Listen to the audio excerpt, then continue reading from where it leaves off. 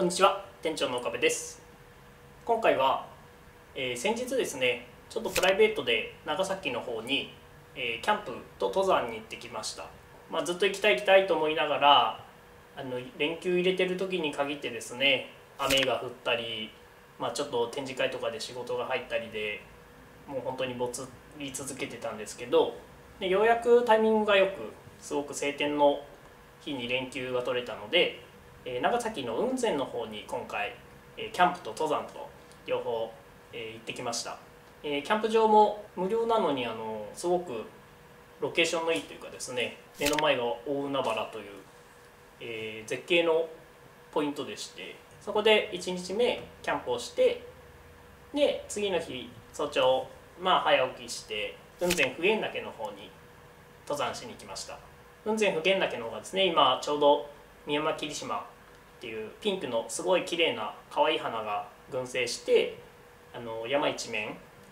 すごく綺麗なピンク色に染まるんですけれどもまあそれを見に行ったっていう感じですね、えー、キャンプと登山の実際の様子はですね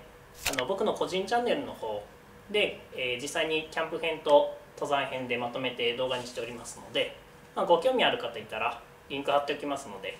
ご覧になっていただけると嬉しいです。で今回はそのキャンプと登山で実際に僕がコーディネートした服ですねをご紹介しようかなと思います。基本的にはあの当店で取り扱ってる商品が中心にはなるんですけれどももちろんうちで取り扱いのないものもいろいろと、え、使っていますので、まあ、その辺りは、え、ご了承いただければなとは思います。はい、でまずちょっとご紹介したいんですけれども僕が今ここ着てるですねこのカットソーこれまあ早速ちょっとうちで取り扱いのない商品なんですけれどもゴールドウィンさんが扱っているブランドでアイスブレイカーっていう実はウールなんですよ。メリノウールを100%使った薄手のカットソーです。まあ T シャツっぽく見えますけどね。もうすごく柔らかい生地感でこんな感じでストレッチ性もあってもうこれ素肌に1枚で着てるんですけれどももうさらっと快適に着れるカットソーです。でこれ何がいいかってもうあのオールシーズンですね。365日いつでも使える素材で速乾性にめちゃめちゃ優れてます。天然素材でですね。でメリノウールの特徴としてただ速乾性があるだけじゃなくて防臭効果匂いがつきにくいっていう特性があるんですね。キャンプにしてもそうですし登山にしてもそうですし、まあ、すごく汗をかくんでやっぱそのちょっと匂い対策っていうのは気にする方多いと思います。でそんな中でこういうメリノールの素材のカットソーっていうのはすごくおすすめになりますので若干お値段がですね高くはなっちゃうんですけれども、まあ、本当なんか見た目はですねなんてことない無地のカットソーなんですけど、まあ、機能性考えるとものすごくあの1万円出してでもむしろ色違いで買いたいぐらい気に入ってるカットソーでもあります。でもこれ僕2年ぐらい使ってるんですけどもうお洗濯も普通に気にせず丸洗いもできてねなんか全然へたれたりっていうのもなくて首回りとかも全然こう伸びてないですもんね。で汗をかくのになんでグレーを選んでるのかっていうとあの汗じみ絶対目立つじゃないですかグレーって。でもなんかキャンプとか登山って汗をかいてるのがかっこいいみたいなとこなんかないですかね。僕だけかもしれないですけど。なんかちょっとああいうアウトドアのシーンって汗をかいてるのがかっこいいなって思う時があって、えー、特に登山とかですねなんか全然汗じみが汚く見えないというか不潔に見えない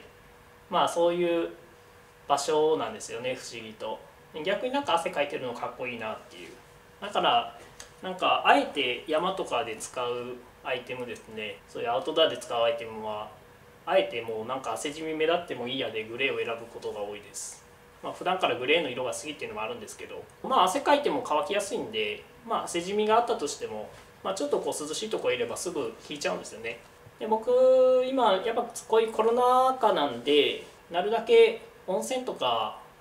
行かないようにしてるんですね。特に県外とかだと。だからまあお風呂に入らないわけですけれども1日ぐらいまあいいかっていう感じですね。ソロなんで。このメリノールのカットソーはすごく活躍するんでまあ本当これを1枚着ていてって上着を変えるだけっていうお手軽で便利なのであのぜひ真似していただきたいなと思うんですけれども初日はこういうコットン素材のシャンブレーシャツで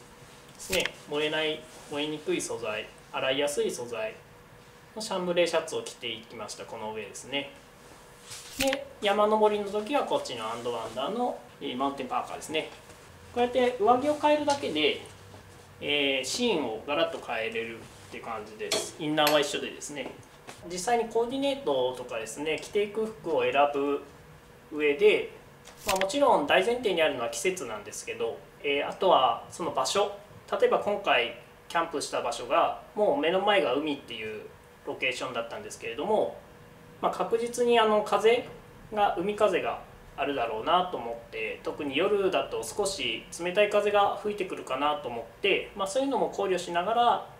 服選びをしています。であとはですね、えー、まあ、2日間同じ格好でも良かったんですけれどもあのキャンプの時に焚き火とかをしますよね。で焚き火をする際に登山系のウェアってどうしてもこうナイロンとかポリとか化学繊維のものが多いのであの焚き火の火に弱いんですよね。火の粉とかですぐにですね溶けて穴が開きやすい素材のものが多いのでまあキャンプはキャンプでまあちょっとこうコットン素材の燃えにくい素材のコーディネートを中心に。でまあその海風とかにもある程度対応できそうなですね。コーディネートを組んで。で次の日の登山は登山であの動きやすくて汗をかいても快適なウェア選びっていうのをしています。特にま登山ではえー、当店がこの春から取り扱い始めたアンドワンダーですね。っていう、えー、ブランドの商品を上下揃えてきていきましたので、まあ、登山とキャンプとそれぞれ、まあ、共通点もありつつやっぱりその目的に応じた、え、服装っていうのは結構大事になってくるんですよ。あとは荷物がどうしても着替えるとですねすごく増えちゃうので、まあ、荷物の量を、まあ、着替えを前提としてどこまで減らせるかっていうのもすごくまあ大事な要素かなとは思いますあんまりですね、まあ、車で行けるんで、まあ、そこまでこう切り詰める必要もないんですけれども荷物は少ないに越したことはないんですよ。どうしてもあの荷物が増えれば増える分管理が大変になってきますしあの持ち運びもですねもちろん、えー、重量も増えてくるので、まあ、キャンプとか登山とかやってみられると分かるんですけれども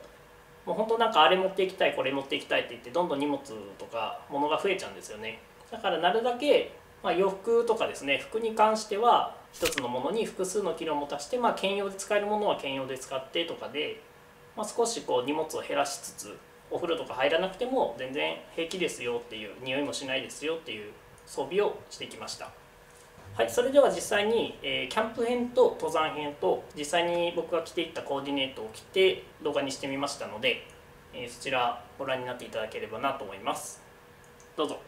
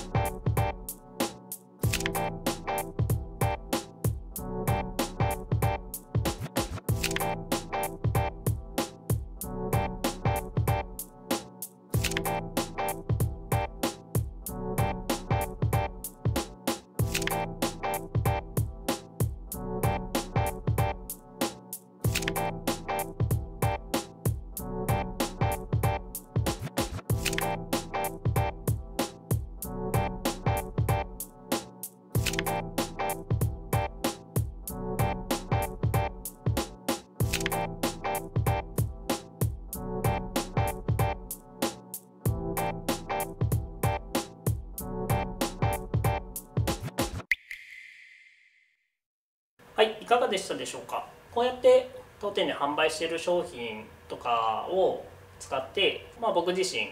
キャンプだったり登山を、えー、ファッションも含め楽しんでますよっていうのが少しでも伝わればいいなと思って今回こういう形の動画にしてみました、まあ、少しでもなんかですねおしゃれにキャンプとか登山とかアウトドアな趣味を楽しみたいという方のですね参考になれば幸いです。もちろんですねなんかこうユニクロとかワークマンとか、まあ、GU とかですねプチプラの洋服で揃えていってもいいんですけれどもせっかくですね趣味を楽しむならいろいろとこだわって洋服までですね楽しむとすごく QOL が上がるというかですね、まあ、キャンプとか登山のま楽しみ方の一つですけど、まあ、形から入るじゃないですけどねまあ僕の楽しみ方としてはそこまで含めキャンプと登山を楽しんでます。なのでまあ共感していただける方がいたら、まあ、そういう話ができるとすごく嬉しいですね。何かですねこうキャンプとか、まあ、実際に登山されたりとかでなんかおしゃれを楽しみたいよとかまどういう服の合わせ方したらいいのっていうのでお悩みの方がいたら是非ですねご相談いただければアドバイスできるかなと思いますのでお気軽にお問い合わせください。はいそれでは今回も最後までご視聴いただきありがとうございました。また次回の動画でお会いしましょう。さよなら